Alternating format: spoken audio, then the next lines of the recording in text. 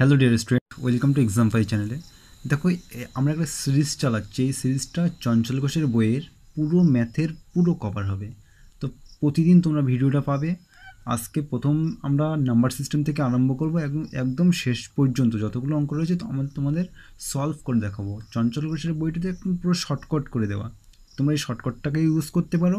আর আমি তোমাদেরকে একটা তোমাদের পুরো কনসেপ্টলি করাবো, তোমরা কনসেপ্টটা ক্লিয়ার করতে পারবে। কিন্তু এই স্যারের যে বইটাই, এরা, এটা কিন্তু পুরোপুরি একটা কি বলব শর্টকাট মেথডে এত মুখস্থ মতন করতে হবে ম্যাথগুলোকে সব।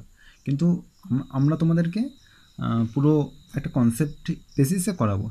তো প্রথম দেখো আমরা আমরা স্টার্ট করব প্রথম অঙ্কটা। নাম্বার সিস্টেমের প্রথম অঙ্ক। কি বলছে দেখো? এখানে দেখতেই পাচ্ছ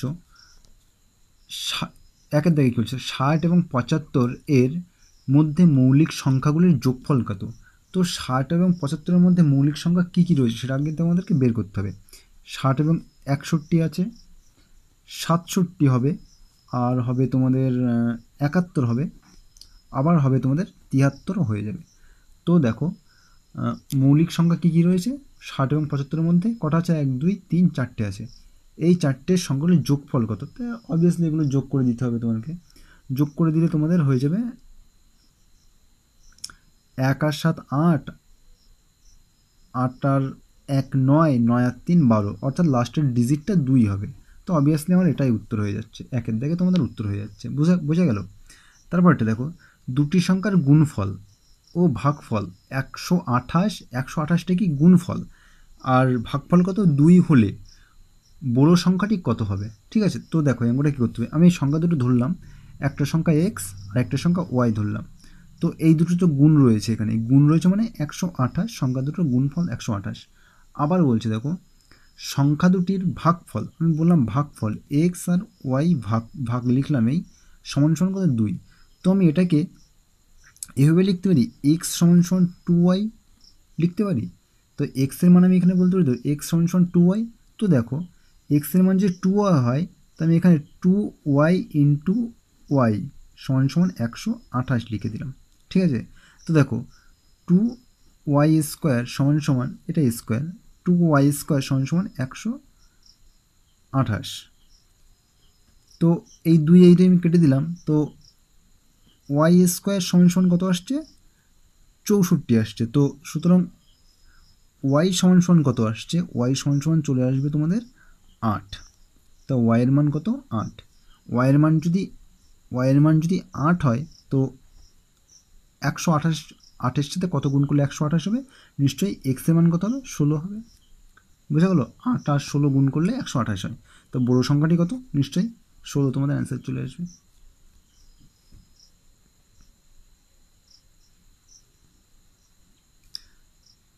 বোঝা গেল? ক্লিয়ারলি এরকম করে তোমাদের কনসেপ্টগুলো সব করে ক্লিয়ার করে দিয়ে দেবো। তারপরে দেখো তিনের দেখ কী বলছে? তিনটি অঙ্কের তিন অঙ্কের কোন বৃহত্তম সংখ্যা? কোন বৃহত্তম সংখ্যা দশ, বারো, পনেরো দিয়ে ভাগ করলে প্রতি ক্ষেত্রে চার ভাগশেষ থাকবে? তো তিন অঙ্কের সব থেকে বৃহত্তম সংখ্যা কত? তিন অঙ্কের সব থেকে বৃহত্তম সংখ্যা তোমরা তো সবাই জানো, তিনটে নয়। ক্লিয়ারলি তো দেখো দশ, বারো এবং পনেরো দিয়ে ভাগ করলে ভাগশেষ থাকবে কোন বৃহত্তম সংখ্যাটি? তো দেখো, আমি প্রথমে তাহলে দশ, বারো, পনেরো লসাগু করে নিলাম। এর লসাগু আমার ষাট হবে। লসাগু বের করার নিয়ম আমি বলে দিচ্ছি, দেখো কী করে লসাগু বের করতে হয়। এদের মধ্যে সব থেকে বড়ো সংখ্যাটা তুমি নেবে। সব থেকে বড়ো সংখ্যা কত? পনেরো আছে। এবার পনেরোর নামতাটা পড়বে। দেখো, পনেরো এককে পনেরো পনেরো যদি নেই, আমি লসাগু করি তা দেখো দশ দিয়ে ভাগ করা যায় না, বারো দিয়েও ভাগ করা যায় না। আবার দেখো, পনেরো দিনও তিরিশ। তিরিশটা যদি নেই, তা পনেরো দিয়ে ভাগ করা যাবে, আবার দশ দিয়ে ভাগ করা যাবে, কিন্তু বারো দিয়ে ভাগ করা যাবে না। আবার দেখো, তিন পনেরো পঁয়তাল্লিশ যদি নেই, তা দেখো, পনেরো দিয়ে ভাগ করা যাবে, কিন্তু দশ দিয়ে বারো দিয়ে ভাগ করা যায় না। তিন পনেরো ষাট যদি আমি নেই, ষাটটা দেখো, দশ দিয়ে, বারো দিয়ে এবং পনেরো দিয়ে ভাগ করা যায়, সুতরাং এই তিনটে লসাগু হচ্ছে ষাট। বোঝা গেল? এবার এই সব থেকে বড়ো অঙ্ক মানে তিন অঙ্কের সব থেকে বড়ো অঙ্ক খুঁজতে হবে, তোমাকে তাহলে এটাকে ষাট দিয়ে তোমাকে ভাগ করতে হবে এবার। ষাট দিয়ে যদি ভাগ করি আমি প্রথমে ষাট দিয়ে দিলাম। আসছে তোমার নাইন থ্রি আসছে। আবার নয়টা নামিয়ে দিলাম।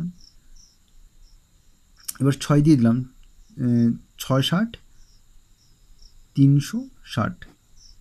তো আসছে নাইন আর এখানে আসছে থ্রি উনচল্লিশ অবশিষ্ট থাকছে। তো ষাটের সাথে ষোলো গুণ করলে, অর্থাৎ ষাট তো লসাগু। এখানে দেখো, ষাট তো লসাগু মানে ষাটের সঙ্গে তুমি যাই গুণ করো না কেন যাই গুণ করো, এই তিনটে দিয়ে সেটা কিন্তু ভাগ করা যাবে। বোঝা গেল? ষাটের সঙ্গে যাই গুণ করো, এই তিনটে দিয়ে ভাগ করা যাবে। তো ষাটের সঙ্গে আমি যদি ষোলো গুণ করি, ষাট ইন্টু সিক্সটিন গুণ করি, তা আসছে কত আমার? আসছে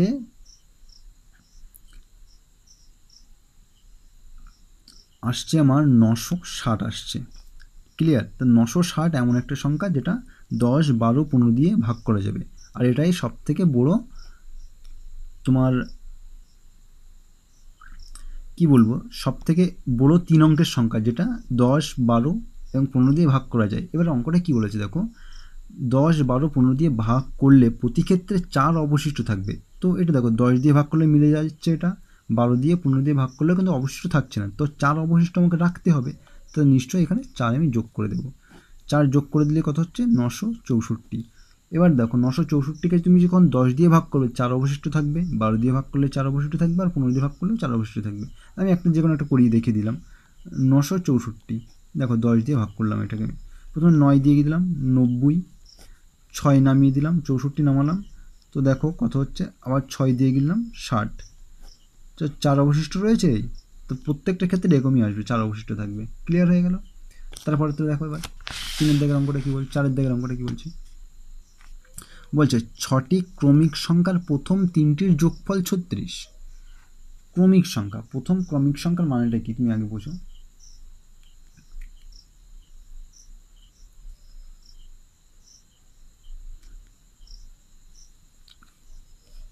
বলছে ছটি ছটি ক্রমিক সংখ্যার প্রথম তিনটি যোগফল ছত্রিশ। বৃহত্তম ক্ষুদ্র সংখ্যাটি কত? তুমি এখানে যা খুশি নিতে পারো। এক্স তুমি যদি এখানে এক প্রথম সংখ্যা এক্স নাও, তার পরের সংখ্যা নিশ্চয়ই তোমাকে কী নিতে হবে? এক্স প্লাস ওয়ান নিতে হবে কিন্তু। তার মানেটা কী? কীরকম হচ্ছে? দেখো, যদি আমি মনে করি একটা সঙ্গে এগারো নিলাম, নিশ্চয়ই একটা সঙ্গে তারপরের সংখ্যাটা কত? বারো নিতে হবে।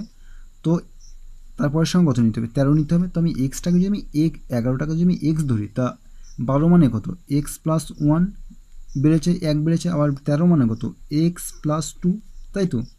তো এক্সের মান কত? এক্সের মান এগারো। আমি এগারো ধরে নিয়েছি এক্স এই এগারো সমান সমান এক্স ধরেছি। তার মানে এরকম করেই বাড়বে। তারপরে পরে যদি আমি চোদ্দোটা লিখি, চোদ্দ কী করে লিখব? এক্স প্লাস থ্রি আর পনেরো লিখব কী করে? এক্স প্লাস ফোর এরকম করে করে লিখতে হবে আমাকে। তো কটা সংখ্যা বলেছে? এখানে বলেছে তোমার ছটা সংখ্যা। তো ছটা সংখ্যা আমি এখানে আরেকটা নিলাম। ষোলো যদি লিখি, তো আমি কী লিখব এখানে? এক্স প্লাস ফাইভ লিখতে হবে আমাকে। তাই তো? তো এখন দেখো কি বলছে। তো বলছে প্রথম ক্রমিক, প্রথম তিনটি যোগফল ছত্রিশ। তো প্রথম তিনটি কটা? একটা, দুটো, তিনটে। আমি এই তিনটে নিলাম। এই তিনটে আমি এখানে লিখছি। X plus one x plus two আর এক্স প্রথম তিনটে বলতে এইট এইটটা এইটা হচ্ছে প্রথম তিনটে। X x plus one x plus two তো এখানে আমি লিখলাম এবার এক্স প্লাস তো এই তিনটে যোগফল কত? ছত্রিশ। তো এই তিনটে আমি যোগ করে দিলাম। তিনটে x x x x three x plus এক আর দুই তিন। হয়ে গেল। ছত্রিশ। তো লসাও গসাও এই তোমার সমীকরণ করার সময় এই সংখ্যাটা নিশ্চয়ই আমি এদিকে নিয়ে চলে আসব, তখন বিয়োগ হয়ে যাবে এটা। বিয়োগ হয়ে গেলে তোমার থাকবে তেত্রিশ। তো থ্রি এক্স সমান সমান তেত্রিশ। তো এক্সের মান সমান সমান কত হচ্ছে? এবার তেত্রিশ বা থ্রি থ্রি তো এক্সের মান সমান সমান এগারো আসছে আমার। তো অবভিয়াসলি এটা আমি মানে এমনি নিয়েছি তো দেখো এক্সের মান এগারোই চলে এসছে। আমি তুমি যেখানে যদি এক, দুই, তিন চার ধরো তো সিম্পলি চলে আসবে অ্যান্সার চলে আসবে। তোমাকে এগারো ধরতে হবে না, এখানে এগারো, বারো, তেরো শুধু পনেরো তোমাকে বোঝানোর জন্য আমি লিখেছি। তোমাকে করতে হবে এক্স ধরে, ঠিক আছে? তো এক্সের মান এগারো, এখন এখন কী বলছে দেখো? এখন বলছে সব থেকে বড়ো সংখ্যাটি কত? সব থেকে বড়ো সংখ্যাটি কত হবে? এক্স প্লাস ফাইভ হবে নিশ্চয়ই। তো এক্স প্লাস ফাইভ সব থেকে বড়ো সংখ্যা, আর ছোটো সংখ্যা কত? নিশ্চয়ই এক্সই হবে। তো ছোটো সংখ্যা কত? এগারো। আর বড়ো সংখ্যা কত? এক্স প্লাস ফাইভ মানে কত? এগারো প্লাস পাঁচ, এগারো প্লাস পাঁচ মানে কত? তোমার ষোলো। তো বলছে দুটি সংখ্যা বৃহত্তম ক্ষুদ্রতম সংখ্যা দুটির যোগফল কত? তো বৃহত্তম সংখ্যা কত? ষোলো। ক্ষুদ্রতম সংখ্যা কত? এগারো। তো এদের যোগফল তোমার আসবে সাতাশ। বোঝা গেল? তো অ্যান্সার তোমার সাতাশ। খুব সুন্দর করে আস্তে আস্তে ধীরে ধীরে বোঝাচ্ছি, কিন্তু অঙ্কগুলো তোমরা প্র্যাকটিস করবে কিংবা দেখবে, দেখলে দেখবে।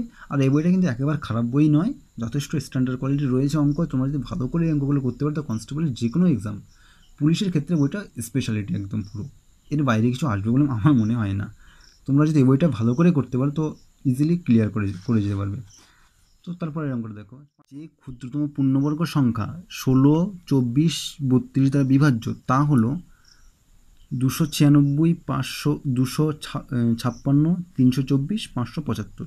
ঠিক আছে, তো এটা দেখো এবার। তো অবভিয়াসলি আমি এই তিনটের লসাগু লসাগু আমি নাইনটি সিক্স বলতে পারি। নাইনটি সিক্স বলতে পারি, ঠিক আছে?